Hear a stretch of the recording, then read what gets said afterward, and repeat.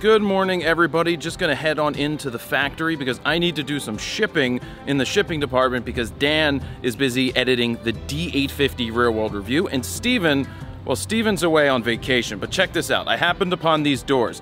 They're purple. Purple, I tell you. Who in their right mind would ever do this to a door? Who who would paint it purple? Me. That's who. So for those of you who haven't seen it in a while, this is the shipping department. These are the packages I just packed that need to go out into the mail. These right here are what's left of the tomatoes from the garden that's been outside, but uh, that's kind of winding down. But yeah, a quick look, shipping department, shipping department, all the countries we can't ship to because of G-Star Raw, and here's all the shirts right here. Uh, quick little plug, store.froknowsphoto.com. If you want to pick up any of your I Shoot Raw shirts, you can do that right now. Uh, but now, got to get to the post office, and I also have to work on some writing, which I'll tell you about in just a second. So remember the video that I did that was just start? Well, I'm taking that to heart myself, and I'm just starting to make videos like this where I talk to you. I tell you what's going on in the day, sure. You could call it a vlog, but beyond that, it's gonna be my job to edit it. Yeah, I'm gonna have to pick what program I'm gonna edit in. I'm gonna have to call Todd and he's gonna have to help me or call Steven or Dan to give me some tips on editing. I don't expect it to be amazing in terms of editing, but I just really wanna talk to you guys uh, and tell you what's going on and, and that's, that's it. So I'm taking my own advice. I'm just starting with that and that's what I'm doing. Kitty! Kitty, why is the music still on? Did I leave it on? So do you know what's super important to my day? Food. I make sure I get enough protein. I make sure I get fueled up for the day early in the morning so that I can power through, get a good lunch in there, sometimes get a good workout in there, whether it's first thing in the morning or whether I do it later in the day. But eating well is how I stay healthy for one, and also sleeping well, getting enough sleep. I try to do about seven hours a night uh, to get enough sleep, but I think this is all important stuff as a business person, as a creative, when you work for yourself, if you're not fueled up for the day, your brain doesn't work as well, you don't function as well, and if you don't eat well and sleep well, probably not gonna feel good. So basically, one of my favorite places to go to lunch multiple days a week is a place called Stock, because I can get pho, and it's good. It's really good. Here it is.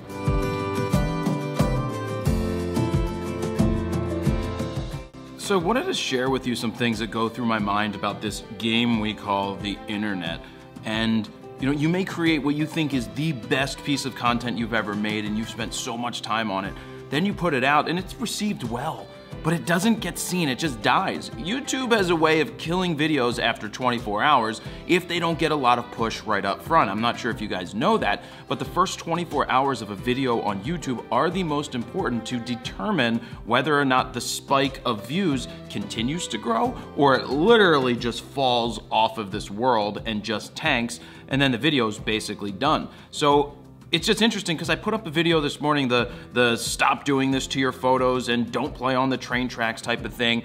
But I really want people to watch the photo news fix. I mean, I want people to watch every video, but this is just, it, it, it's a game. It's a, it's a never ending trying to figure out what works, what doesn't, or just keep putting out content.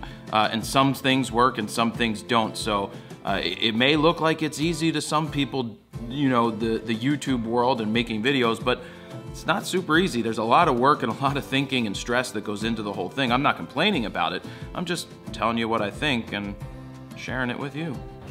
So right now I'm off to go to a place called La Colombe, which is a really good coffee place. I don't drink coffee, by the way, because uh, I gotta get some writing done. I'm writing a, a, an outline for a new crash course in photography, a, a crash course to help people that don't have a ton of time, but they wanna get out of auto.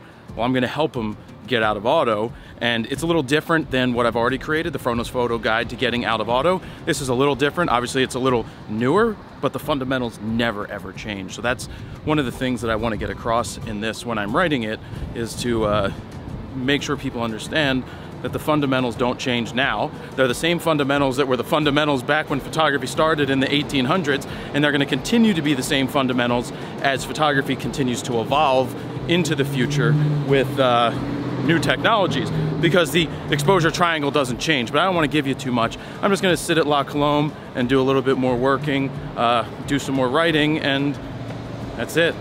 Let's do it. All right, guys, so I just got back from La Colombe and I finished a whole bunch of crash course writing. Uh, it's going to be a good crash course for people who just want to get the basics and fundamentals super quick. Uh, it should help them get out of auto, uh, so I, I can't wait to start filming it and get it out to where it's going to be. But also, I'm really happy that I just started to do something, which is make these type of videos where I just want to talk to the camera, talk to you guys, just share what's going on in a day, and just pretty much leave it at that. And beyond that, I got to do the editing, and that means it's on me.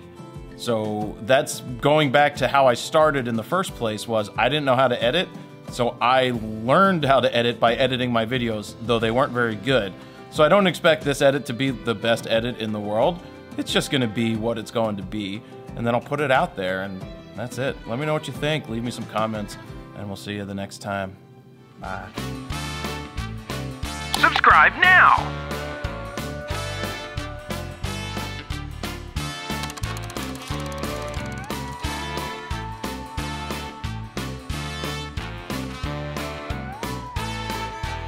Watch this, watch this video.